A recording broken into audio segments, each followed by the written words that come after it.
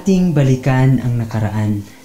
Nakaraan na lahat ay masaya, punong-puno ng ligaya saan man mapunta, malayo pa lang ngiti mo na ang makikita. Naalala mo pa ba ang tagpuan ng barkada, pamilyang sabay-sabay na nagsisimba, mga magkakatrabaho na kumakain ng sama-sama, sama-sama lahat ay masaya, lahat ay napupuno ng tawa, lahat kahit saan pwedeng maglakwatsa. Naalala mo pa ba ang masasayang araw na walang kinakatakutan? Walang kinakatakutan at di alintana kung saan man mapadpad at kung sino man ang iyong kaharap.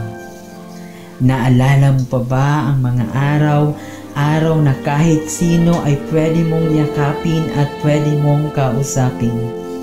Naalala mo pa ba ang mga araw na wala kang linalayuan kahit na di mo alam ang kanyang pagkakakilanlan?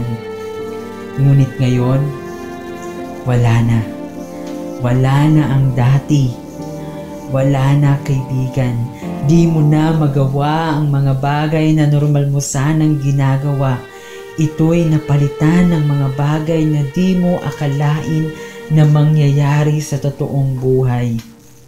Lahat ng tao ay mata at maskara na lamang ang iyong makikita na tila ba pagkausap ka ay parang pinandidirihan ka na.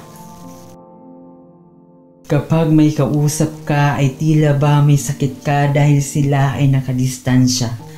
Nakadistansya sapagkat di mo alam na baka ikaw o siya na ang may dala, may dala ng kalaban na di natin nakikita nakakabahala na. Nakakabahala na ang mga nangyayari, nakakatakot na, nakakadismaya.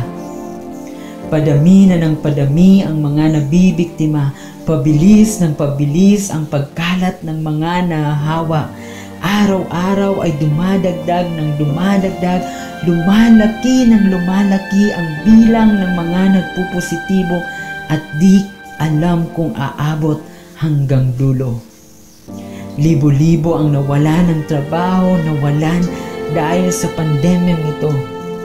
Ang ilan ay walang makain at tanging umaasa sa ayuda ng gobyerno.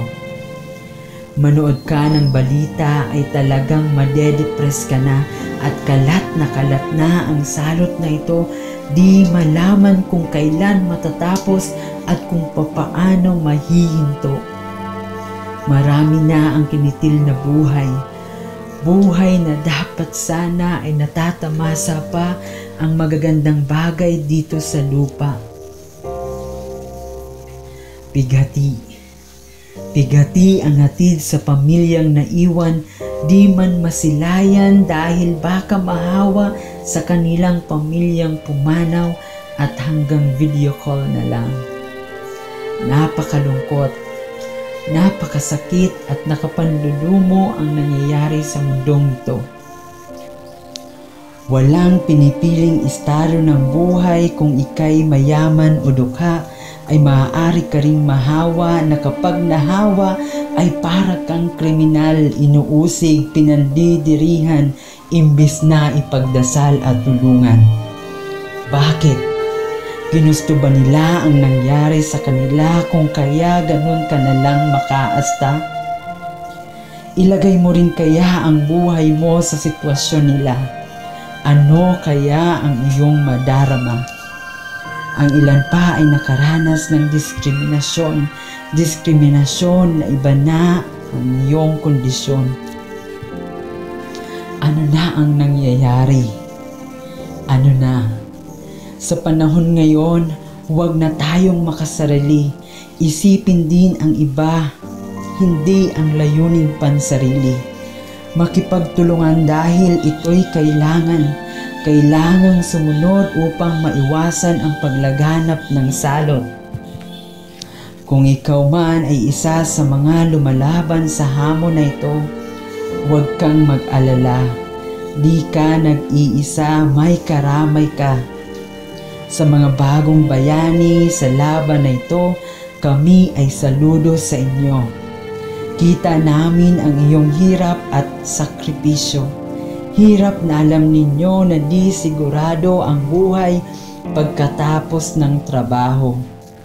Halos wala na kayong pahinga, maiba ka lamang ang buhay ng bawat isa. Tinitiis ang bawat puyat at pagod para sa kaligtasan ng bawat buhay na dapat maisalba. Kahit di na kayo makauwi sa iyong pamilya, ay patuloy ang pagkikipaglaban at kami ay iyong pinagsisilbihan. Taos puso ang aming pagpupugay. Frontliners, kayo po ay mabuhay. Sa hamon na ito, dapat nating pagkatandaan may mga leksyon na dapat tayong matutunan. Sa hamon na ito, di tayo nag-iisa tayo ay magtiwala at manampalataya, manampalataya na sa Diyos lamang ang kaligtasan sa Kanya tayo tumangan, siya lamang ang kasagutan. Sabay-sabay nating labanan ang pandemyang ito. Lilipas din ang lahat. Panalangin lang ang susi ng lahat.